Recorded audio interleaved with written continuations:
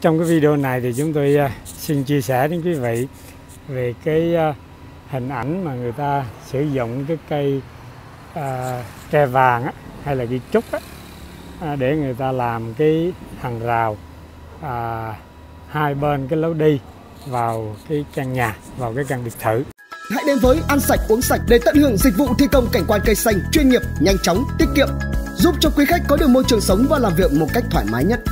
Đến với Ăn Sạch Uống Sạch để được trải nghiệm các dịch vụ, tư vấn các loại cây cảnh phù hợp và hiệu quả, thi công cảnh quan sân vườn, biệt thự, thi công vườn treo, vườn tường đứng, lắp đặt gian hoa ban công, lắp đặt gian leo cây xanh, chăm sóc cây cảnh định kỳ.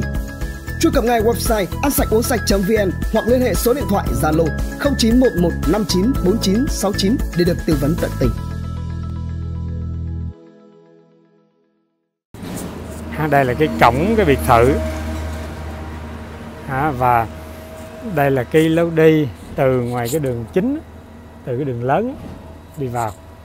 À, đây là cái ờ, đường lớn này đường ờ, quốc lộ luôn á. Và từ cái ờ, đầu đường đó, đi vào biệt thự á, thì người ta sử dụng cái cây tre vàng để người ta trang trí. Một mặt đó là nó tạo cái vẻ đẹp nó thơ mộng nó có cái mảng xanh. Đó, một mặt đó là nó che đi cái ờ, ờ, hình ảnh cũng không có được ờ, sang trọng của những cái công trình xung quanh. Ví dụ bên đây là có cái vách tôn tạm.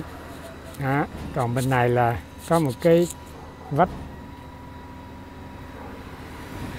Cái uh, vách cái uh, gạch đỏ chưa có tô của một cái căn nhà cấp 4 nhà này thì người ta cũng bỏ qua cho nên là nó không có được ờ, chăm sóc lắm nó thành ra là cái hàng tre vàng như này á nó sẽ che đi cái ờ, điểm yếu của cái ờ, công trình của cái căn nhà à, hai bên à.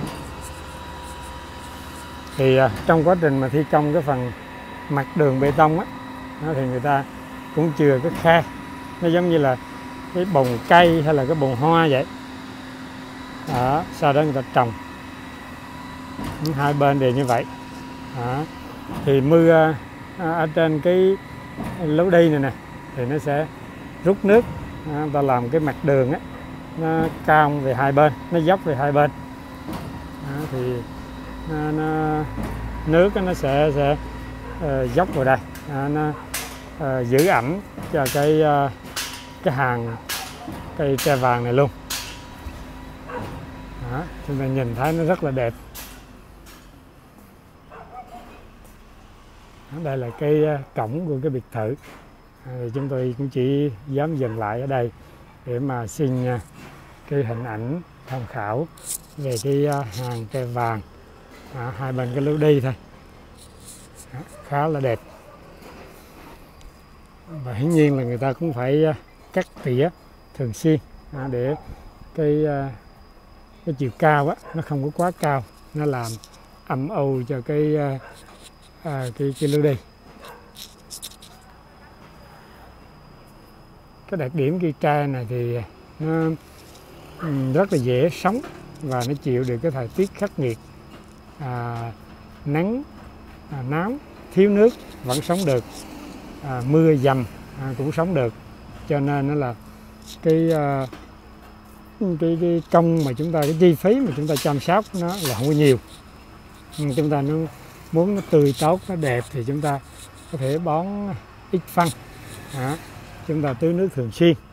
Ở trong trường hợp là chúng ta bận biểu công việc đi công tác nhiều đi xa mà quên chăm sóc thì bản thân nó cũng tồn tại được à, nó cũng phát triển được trong cái điều kiện khắc nghiệt. Và đặc biệt là hình ảnh cây tre cây trúc nó gắn bó với cái miền thôn quê của Việt Nam. Ừ, cho nên là các ờ, chủ nhà à, người ta từ ở quê người ta vào thành phố người ta uh, sinh sống làm việc lập nghiệp thì người ta cũng muốn mang cái hình ảnh cái hồn quê à, vào cái à, căn nhà vào cái công trình của mình à, để người ta cảm giác tâm hồn nó thư thái mỗi khi từ cái sẽ làm à, về quê. Hay chúng ta thấy là mặc dù cái căn nhà này thì nó ở cái vùng đô thị sầm uất nhưng mà khi mà chúng ta bắt đầu về tới đầu ngõ thì chúng ta cảm thấy nó nhẹ nhàng nó rất là thoải mái. Chúng tôi xin chân thành cảm ơn quý vị đã quan tâm đến kênh, cũng như là quan tâm đến video này.